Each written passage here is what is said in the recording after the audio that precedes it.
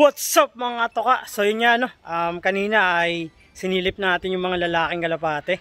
So ngayon naman ay pupunta tayo sa mga babaeng kalapate. So may ginawa lang tayo sa loob. Then ito, nagbabalik tayo dito sa labas para silipin sila.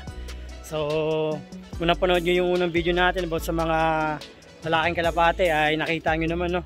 Um, ang titikas, ang lulupit no. So grabe. So dito tayo sa mga babae naman silip at nakalak. So kukuha mo ng susi then I'll be back sa inyo mga toka. Kung di mo ako kilala, ako'y iyong kilalanin. Mabait ako sa'yo, kung mabait ka sa'kin. Suporta ko sa'yo kahit di ka suporta sa'kin. Kaibigan mo ako kung kaibigan turing sa'kin. Di mahirap kilalanin dahil di ako mayabang. Pera ko hindi marami sa respeto lang. Mayabang So yun nga mga tukat nagbabalik. At nakuha na natin susi kay Utol Brown G. So silipin na natin yung mga ano no, yung mga babaeng kalapate naman. So wag na natin patagalin to, buksan ko lang to then I'll be back. So yun nga mga tuka at nakapasok na tayo dito sa kulungan ng mga babaeng kalapate. So yun sila lahat no. So mas marami ang lalaki, mapapansin nyo naman sa last video natin kaysa mga babae. So yun, huwag na natin patagalin to at pakita na natin isa-isa sa inyo kung sino mo madampot natin no. So dito ay yung champion ng Apistrana yun, 07. So yun mga toka, ah, set up ko lang itong camera. So yun nga, at hawak natin si 07. Yun o, naglulugon siya. So ang champion ng Apistrana no. Yan. Grabe. Ganda pa rin. 361 miles ang nilipad na ito. Halos almost 600 kilometers yata yun sa pagkakatanda ko. So check nyo na lang din. Ayan siya. Napakagandang kalapate. Ayos. So sa pagkakalam ko yung naging anak nito ay ilalaban din no. Ilalaban din sa Wonder Prize. Hindi ko lang sure kung saan no. So yun. Bitawan na natin siya. Baka stress ng lalak. Then, kuhain natin ang ibang malulupet. So, ito, isang red bar. Chocolate tawag dito daw. Ayan siya, ganda. Ganda kalapati, ganda ng mata. Ayos no. So, di ko alam kung kanino galing to. Pero, alam ko, um, naging breeder na rin to ng campo. eh. Ayan siya. So, yun. Kaya na natin siya. Then, nandito nga sila lahat na sa baba. Try natin ito yung baba para makita nyo sila mga toka, no? Ayan sila. So, kuhain natin yung um, abong kulay eh. Parang may pagkano siya, yung parang pag may, may pagka milky. So yung milky nga na yung ano, hindi na nakabalik nung huling karera. So tingnan natin to, mukhang maganda to eh.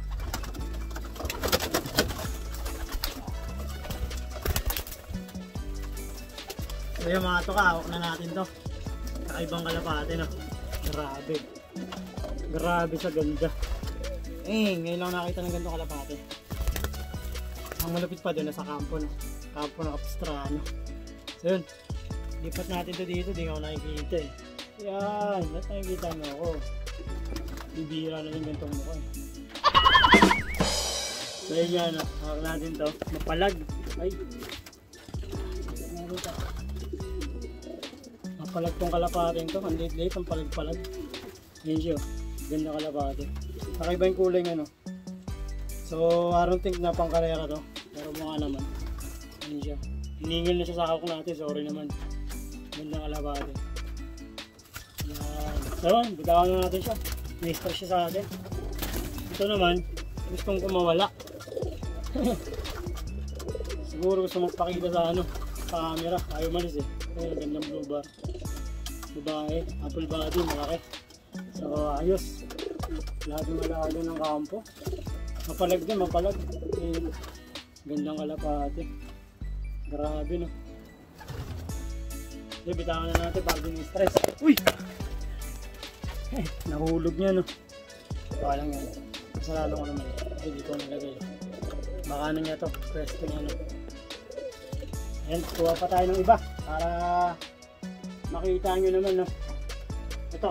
Um, kakaibang kulay pa rin. Aray ang lampas aray utog din ako. Nagtanda malas malas naman tayo dito sa loob no? So ito naman. Yan kakaibang kulay din. Color malupit. Galing to sa ni parang itos yan grabe. Ganda ganda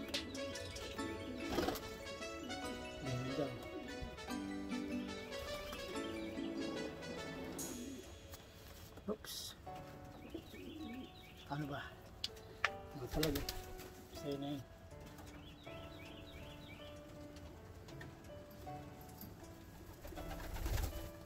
Astig ganda kalapate.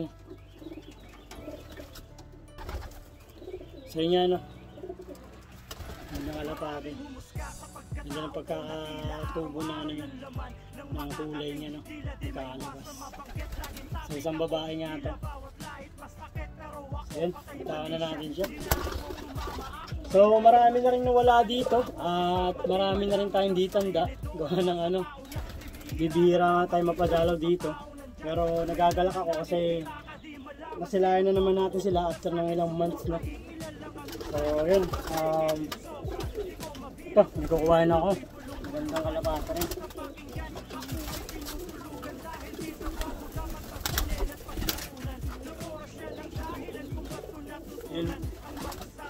Gandang kalapate. Tiger. Grabe oh, ganda. So di siya ano, di siya kalakihan. Sakto lang yung katawan niya. Stick. Ayun siya. So di ko alam kung saan galing to. Pero maganda. So yun nga ano, um, hindi tayo magtatagal dito sa kulungan nila. Na-stress na sila sa atin. Dahil minsan, minsan na sila makakita ng gwapo dito, eh, pa napapadalaw tayo. So, yun, si Opal, oh. Matandaan si Opal. dito pa pala si Opal, no? Grabe. Ayan si Stitch. Ayan. Ayos. Ayan. Lipat ko lang tong camera. So, ayan nga sila, no? Ibang kalapate. Na-stress na. Gusto na lang kumawala dahil nandito tayo. Then, ito yung iba. Ayan, no?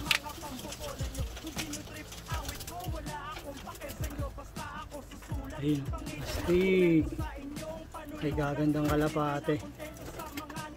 Grabe, di ba? Mga tayuan pa lang eh, no?